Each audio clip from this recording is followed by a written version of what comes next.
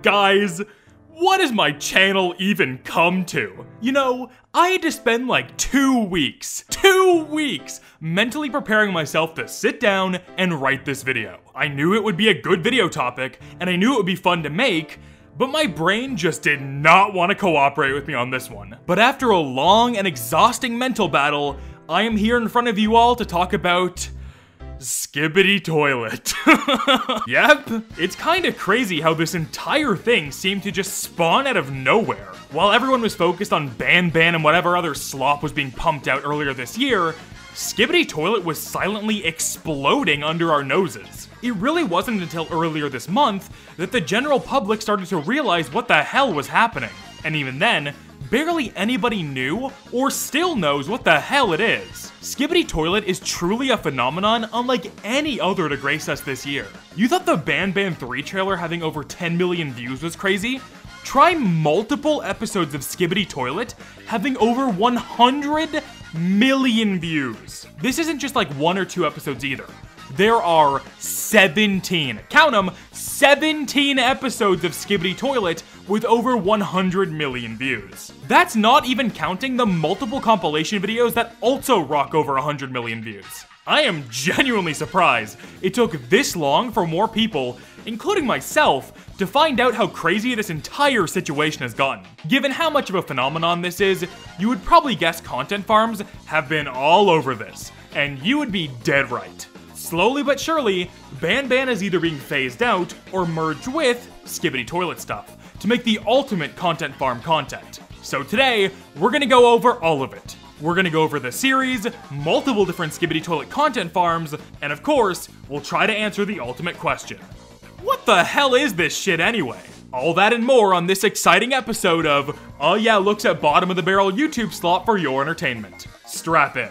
But first, this video is sponsored by Milanote. Milanote is a fantastic tool that helped create this very video you're watching right now. It's an all-in-one website that allows you to compile your ideas, notes, images, videos, audio files, and even more all in one place for any and all creative needs. But enough explaining, let me show you what Milanote is all about. Here you can see the main video project board. We have a quick overview, a research section, a mood board, a to-do list, a storyboard, the list goes on. Creating a Milanote board is easy. Just drag and drop notes and other tools from the sidebar, and you're set thanks to a wide variety of pre-made templates. What I love about Milanote so much is that it makes the process of structuring one of my videos so much more visual than it would have been otherwise. Gone are the days of opening up a text document and pasting a bunch of links I might forget in a week. Now I have a full interactive overview of my entire video. It's seriously a game changer. You can even download the Milanote app for your iPhone to keep your ideas handy wherever you go. Milanote is completely free for everybody, no time limit. Sign up using my link in the description to start planning out your next project today. Thanks to Milanote for sponsoring this video.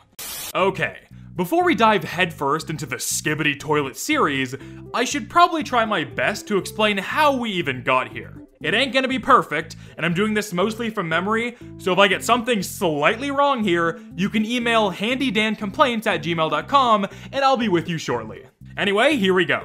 This all starts with one song that came out over a year ago called Dom Dom Yes Yes by the artist Biser King. I would play the song for you here right now, but I'd probably get hit with 1 million copyright claims. So instead, I'll just sing a part of the song myself. It goes something like skibidi dop dop dop dop dop yes yes yes yes skip skibidi. You've probably heard it before, it went super viral earlier this year and late last year. Not because of the song itself or anything, even though it is very catchy, but because of this guy on TikTok. This guy went viral making short videos of him bouncing his stomach up and down while the song played in the background. For whatever reason, this went uber viral and spawned clones and just a general use of the song and the guy himself in memes. Hell, you can even have a PNG of him following you in Roblox as a back accessory. So pretty much all you need to know is a fat guy shakes his belly for views while this song plays in the background there would be countless remixes, memes, and spin-offs of the Skibidi Dop Dop meme, which eventually culminated in a YouTube creator by the name of DaFuqBoom jumping on the trend. DaFuqBoom has been making absurdist SFM animations for years at this point, covering topics from GTA to Transformers. He got to start doing short videos to begin with, so an eventual pivot to uploading YouTube Shorts content was an obvious choice, which is exactly what he did in January of this year. His first YouTube short, simply titled Bajow, even features the head of some guy in a urinal, so the seeds for Skibidi Toilet were planted even from the very beginning. DaFuqBoom would stay pretty consistent with his shorts uploads all throughout the month of January, and near the end of the month, he would upload a video that would change his life forever. No, not the first episode of Skibidi Toilet, but a different video titled Skibidi Bop Yes Yes Yes. This video is just a crazy animation of some guy singing a remix of the Dom Dom Yes Yes song I mentioned earlier, and something about this video was crack I guess, because it ended up going super viral. This video now sits at over 60 million views, and would lead into the start of Skibidi Toilet later in the year. That's pretty much all the backstory you need to know. DaFuqBoom ended up exploding in views and subscribers, now rocking an insane 21 million subs, which is still growing every single day. Okay, now that you know the backstory and a bit about the creator, I think we're ready to go through episodes 1 through 10 of Skibidi Toilet to see what the hell is up. Why only the first 10 episodes, you may ask? Well, originally I did want to go over the first 50 episodes, but the series kinda just gets repetitive and samey after a while. And the real shift in tone happens within those first 10 episodes. Skibidi Toilet doesn't have the funny factor of being able to pull up a wiki every 2 seconds for funny moments, so we'll keep this section on the actual series kinda short so we can spend more time looking at some of these content farms. I think one of the most interesting aspects of this series is that if you found a random person on the side of the street that knew nothing about Skibidi Toilet, showed them the first episode, then asked them to predict where the story would go by the 10th episode, I can guarantee you they would never be able to guess it. That's how much this series changes in only 10 episodes. It gets weird, kind of epic, and even after watching the whole thing, I am still confused about it. No more delays, Here's an idiot trying to explain the first 10 episodes of Skibidi Toilet to a bunch of people who probably also have no idea what Skibidi Toilet is. Please enjoy. Episodes 1 and 2 are the humble beginnings of Skibidi Toilet. These are literally just quick, absurd videos that use a popular song in a way just out there enough that the videos went viral. Key features are there's guys in toilets, they jump scare the camera at the end of the video, and that's pretty much it. Nothing super weird yet, but just give it a bit and we'll start to see some of that weird shit. You see, that didn't take long. We have now gone from heads dancing and singing in a toilet bowl to waves of these toilets straight up attacking cities for some reason. And there's also giant ones now. They go to a restaurant, start flooding the streets, and even take over the sky. Why is there an aerial skibidi toilet, bro? And if you thought that was a jump from 0 to 100, you haven't seen anything yet. I didn't even know this episode existed until the middle of me writing this script, because for some reason it just wasn't included in any of the compilations I was watching. I'm assuming it's because this episode uses a full copyrighted remix of the Dom Dom Yes Yes song that started all of this. And it's also not super crucial to the story in any way. It's just a dance party. Nothing super noteworthy here, but I thought I'd mention it anyway. Episode 7 is where the lore starts to really come into the picture. Before this point, everything has kind of just been lol random for the sake of being lol random. This is still the case for the majority of the series going forward, but now there's some lore sprinkled throughout as well. The first person view we are seeing in this episode goes up to a skibidi toilet and flushes them away, causing them to probably die a horrible and painful death. This is quickly followed up by an army of skibidi toilets jumping the guy and killing him. Rest in peace, random guy. You will be missed. These next couple episodes introduce the main protagonist of the series, that being the camera heads. These are a bunch of guys with cameras for heads instead of, well, heads. I think they're taken or at least inspired by some anime. I don't really care to check if that's right or not, so just take that with a grain of salt. Or go ahead and spread misinformation online, it's a free country, do what you want. This sets up the main conflict of the entire series, the camera heads versus the skibidi toilets. You can even see in episode 8, a camera head vandalizing the grave of the original skibidi toilet, only to be jumped by fucking skibidi toilet police for some reason. Finally, we're on episode 10, and this one gets its own spotlight because it's very weird. Okay, so like, there's a skibidi toilet church, stay with me here, okay? And a bunch of skibidi toilets are watching a ceremony where one bigger skibidi toilet is presenting what I'm assuming is some sort of religious speech in the skibidi language. This is all happening while the Kanye West song No Child Left Behind is playing in the background for some reason. And just as you're beginning to process all of that, an army of camera heads raid the church and kill the big skibidi toilet. Before they can kill the big skibidi toilet, however, one of them gets eaten alive by it. Sure, why not? The episode ends with the soon to be iconic thumbs up pose that the camera heads do when they've successfully completed some sort of mission. We are now one fifth into the entire series in terms of episode number, and we have gone from a singing guy in a toilet bowl to a fucking church raid. Truly peak cinema if I've ever seen it. And just like I said, we'll stop there with the actual series. The rest of the episodes follow the ongoing war between the toilets and the cameras, and it pretty much just becomes a series of fast episodes with fast absurdist action. If you're even a little bit interested, I'd recommend checking the series out, even just to say you watched it. The whole thing is about 25 minutes right now, so it doesn't take very long to go through. Before we move on though, I'm gonna mention some kind of important groups of characters that are introduced later on that may or may not end up being used in content farms I talk about later. There are speaker heads, TV heads, and camera titans. Keep that in the back of your mind as we go forward. Now that you all have a basic understanding of what Skibidi Toilet is, it's time to see what the internet has done with it. We'll go over some old faces on the channel, some new ones, and an example of one of the worst content farms I have ever seen in my entire life. Strap in.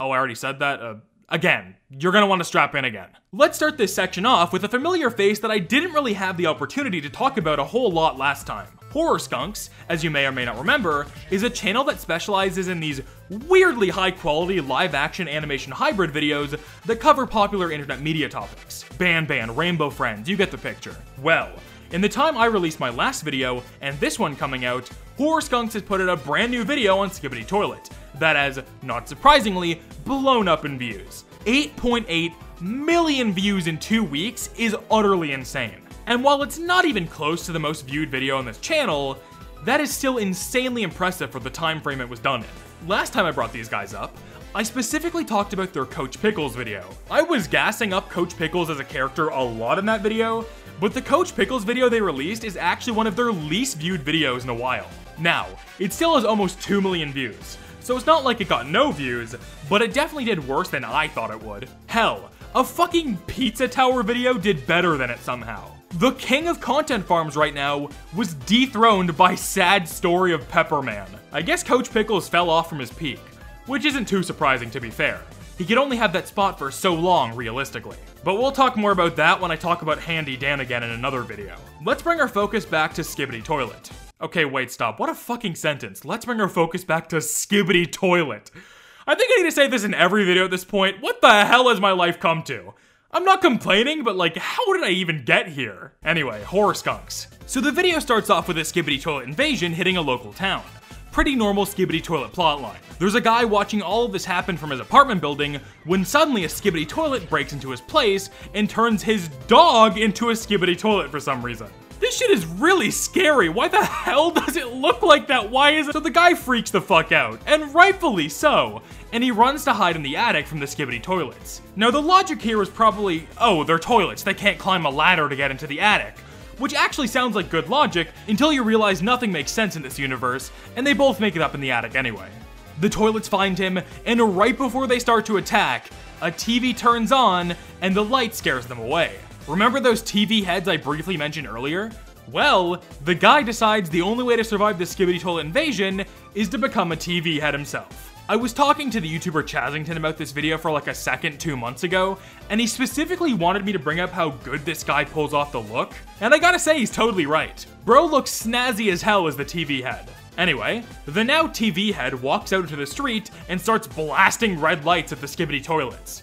No clue how he went from a scared guy in an attic to a master TV user, but it's best not to think about it. The TV guy continues his reign of terror on the toilets until we eventually make it to this one toilet that the TV head starts to drown to death. This leads into an insane flashback that shows the origin of this particular Skibidi toilet. I need you all to take a look at this scene because I can barely understand what the hell is happening here. So the guy is locked in a closet of some kind, and another guy is banging on the closet doors for him to open up. With almost no hesitation, he opens the doors of the closet up. The guy who was trying to get in calls him a rat, and then it just immediately cuts to him being drowned to death in a toilet. Then before you can process any of that, the guy becomes a skibidi toilet. Like seriously, can anyone tell me what the hell happened here? This comes out of nowhere and I'm still confused after watching the clip multiple times. Like bitch, if I was hiding from someone trying to turn me into a mindless skibidi toilet, I would not open the closet I was locked in.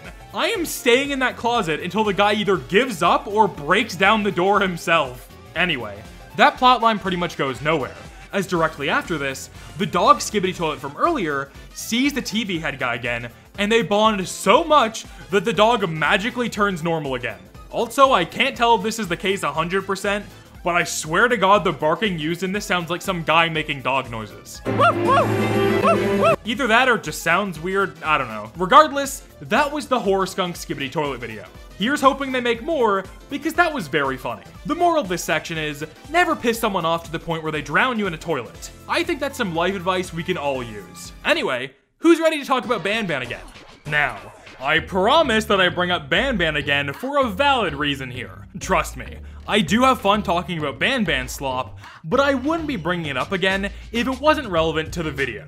So, what's up? As many of you already know, Garten of Banban became the king of all content farms on YouTube for multiple months straight. But that crown might be slipping off now, as it's looking like Skibidi Toilet is becoming the next big content farm topic. For that reason, a lot of channels that were doing pretty much only Banban stuff for months have started to transition away from Banban and into the world of Skibidi Toilet. I don't think there's a better example of this phenomenon than the channel Dom Studio. I have been aware of this channel for a while at this point, but never really looked at them super in depth until recently when they made multiple videos featuring my Trojan horse style Banban OC, Handy Dan. This could lead into an entirely different conversation about self-aware content farms, because these guys 100% knew what they were doing when they used Handy Dan. But we'll save that for another day. Anyway, as you may have been able to decipher at this point just from watching the background footage, this channel specializes in making short animations based on whatever's popular at the time. At one point it was Poppy Playtime, now it's Ban Ban and Skibidi Toilet. You get the picture. Just from looking at their channel and the video timestamps, you probably wouldn't guess that these animations are that short. But this channel uses a fairly common content farm tactic. Recycling content. The strat is simple. Have the beginning of the video be a short, 1 to 2 minute piece of new content, and fill up the rest of the watch time with older content that is somewhat related. Whatever you think about this style of content farming, you gotta admit it's pretty smart. It's like how Buggy Huggy reuses like a minute of content every time I upload a new Ban Ban chapter episode, but instead it's 20 minutes of old content to maximize watch time and ad revenue. I get it though. Animation is one of the hardest genres of content to make profitable on YouTube, unless you already have some sort of dedicated fan base. Not only does it take a lot of time and sometimes money, but the outcome for how much time is being put in is usually pretty short in terms of length, which YouTube hates. It's why storytime animators became so popular a while ago. It's easier to make semi-animated content that can have a much longer runtime consistently because of it. I'm pretty sure Dom is a group of people all working on these animations, so I can forgive the tactic. Gotta pay your workers, you know? Anyway, back to the actual content. The animation in these videos is actually quite decent in terms of content farm standards. As impressive as the accuracy to the actual Ban Ban games can be that Buggy Huggy does for their stuff, at the end of the day, that style of animation is overall pretty simple in comparison to what's being done here. So, like I said earlier, Dom Studio was on the Ban Ban train for months, but around four weeks ago, they uploaded their very first Skibidi Toilet video called Skibidi Toilet vs. Garten of Ban Ban, where they essentially just merged their ongoing Ban Ban series they were making into a half Ban Ban, half Skibidi Toilet series. This continues to be the case even to this day, but the thumbnails and titles have shifted away from Ban Ban for the most part, and are advertising themselves as purely skibidi Toilet animations. One kind of weird thing that happened in the middle of the transition is multiple videos about skibidi Toilets meeting Grimace like like the McDonald's mascot. Actually, can I talk about that for a second? Because one of the strangest things to happen to the YouTube content farm scene in a while has to be the whole thing with Grimace. Okay, so in June of this year, it was Grimace's birthday, and McDonald's did this whole big celebration thing in the States. Over here in Canada, we got caramel popcorn ice cream instead, and that shit was pretty ass. It had nothing on the Grimace stuff. Part of that birthday celebration was the Grimace Shake, which was a berry flavored milkshake that had the iconic purple color of Grimace. Kind of out of nowhere near the end of the birthday promotion, a trend started on TikTok where people would drink the shake and then pretend to be killed by Grimace, usually in some sort of ridiculous fashion. This trend exploded and left the TikTok sphere pretty quickly, making its way to every other corner of the internet. Well, somehow this spiraled into Grimace being lumped into Garten of Ban Ban content farm related videos? Hell, the same companies that pump out endless Ban Ban bootleg plushies have started doing Grimace plushies as well. It's seriously odd. I could go on forever about this topic, probably, but I'll stop there to keep the video somewhat on track. If you want a full deep dive on the Grimace shit, let me know, I might do it, but no promises. Anyway, that's pretty much it when it comes to Dom Studio and their Skibidi Toilet content farm animations. If you're wondering why I didn't go over any specific videos, that will happen in another video when I finally get around to talking about the whole situation that happened with Handy Dan. Regardless, I have some level of respect for this content farm surprisingly, and this whole section was a fun excuse to talk about some slightly off-topic stuff. Enough messing around though, time to talk about a highly requested subject for the channel, game tunes. The utter state of this channel is kind of insane to me because I remember hearing about and watching some of the videos on this channel ages ago, back when they were only doing animations about Friday Night Funkin' stuff. Like, I guess falling down the content farm pipeline of Ban Ban, Rainbow Friends, and Skibidi Toilet makes sense, given that's what FNF was to a lot of these channels when it was still super relevant. But it's just weird to see, you know? Anyway, given what I cover on this channel on a regular basis now, you could probably imagine that game tunes is a relatively common suggestion I hear which I both kinda get and also kind of don't. Like, unless I'm missing some major drama or lore here, this channel has been pretty consistent on its production of slop animation content ever since it started with Among Us stuff. Some people seem to think that there was some sort of quality drop off in writing, but maybe those people just got older or something because the writing and all of this stuff is pretty consistently meh. In terms of their Skibidi Toilet content specifically, I watched The Sad Story of Skibidi Toilet, which is one of the most bizarre interpretations of the story I have seen the entire time I was writing this video. Remember that church raid that I ended the normal section of this video on? This animation takes that church raid as the most life-altering moment in the entire Skibidi Toilet timeline. So life-altering that the Skibidi Toilets are declared the losers of the war almost immediately and have to become military members to train to fight back. Also, the Skibidi Toilets can speak full English now, and singing the iconic Skibidi Toilet theme song is now illegal. Given this setup, the rest of the animation is a loosely related plot about them in the army and their war against the cameraheads. It is a very odd animation that's animated like a tier better than a Go GoAnimate video and it kinda just feels like they didn't try very hard in regards to adapting the source material. The one props I can give them, however, is that this whole video is one cohesive story, without any clips from older animations. They probably have a big ass team at this point, so it's not that surprising I guess, but I thought I should still mention it. I could probably go on, but I'll leave it there for now. Game Tunes was a neat detour, but it's time to take a look at the final content farm for this video. One of the most deranged, shameless, and straight up nasty YouTube channels I have ever covered on here. It's time to talk about Upsong.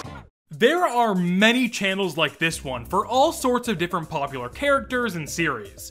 I'm only using Upsong here as an example of a channel like this that has blown up just recently. For reference, their most popular video of all time was uploaded 7 days ago at the time I'm writing this, so this channel is actively getting bigger day by day. I call a lot of channels content farms to the point where the word may have lost some of its original meaning along the way. To counteract this, this is not a content farm. This is a content factory. Forget milking a cow by hand. This channel is pumping out some of the most formulaic, mass-produced slop content I have ever seen in my entire life. The channel just started out making coffin dance covers using popular creepypasta characters. But when that didn't work out as consistently as Upsong had hoped for, he quickly shifted to pretty much just being a complete YouTube degenerate. After the coffin dance era, every single video on this channel features what is essentially just fetish art of children's characters. Fat fetish art, vore, borderline NSFW shit, it's all here. Like, I can't even in good faith show you some of these thumbnails without a bit of censoring. They are genuinely terrible. The actual content of this era is just spamming that one green screen meme of Pizza Tower characters screaming, but instead of screaming at the word boo, like in the original, they're screaming at a sexualized fat pink Among Us crewmate with fat tits and an ass. Truly the best content for all the young iPad kids to be consuming on a regular basis. The silver lining of this channel is that none of these videos had that many views. A few had over 100k, but nothing crazy. Well, that was clearly just because Upsong was tapping into the wrong market, because now that they've shifted to Skibidi Toilet, their views are way up. All the thumbnails still feature over-sexualized characters, now just of the camera heads instead of sandy cheeks and Among Us characters. The content itself has gotten significantly worse somehow as well. These videos are all around 8 minutes long so they can spam mid-roll ads for extra money, and the actual content of the videos is just random skibidi toilet memes on a white background with no thought put behind it. It is genuinely in the top 10 worst styles of YouTube content I have ever come across. It's so bad. That's what happens with anything even remotely popular with kids these days though. Stare into the rabbit hole for too long, and you begin to lose yourself. You forget what even brought you here in the first place. You forget that all of this started with a single video of a man's head singing and dancing in a fucking toilet bowl. So enough of this shit, it's time we wrap all of this up and move on. Skibidi Toilet has been one of the most bizarre things I have ever covered on this channel. And if you told me at the start of this research journey where I would end up now, I would have probably believed you because it's fucking YouTube, what else would you expect? I've been uhyeah, and I'll see you all next time.